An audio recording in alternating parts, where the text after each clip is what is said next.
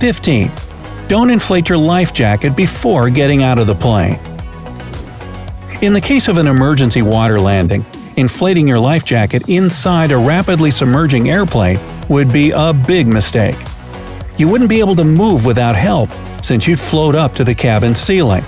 The safest thing to do is to take a deep breath and swim out of the airplane, taking your deflated life jacket with you. Only when you're out of the plane should you finally pull the inflation cord.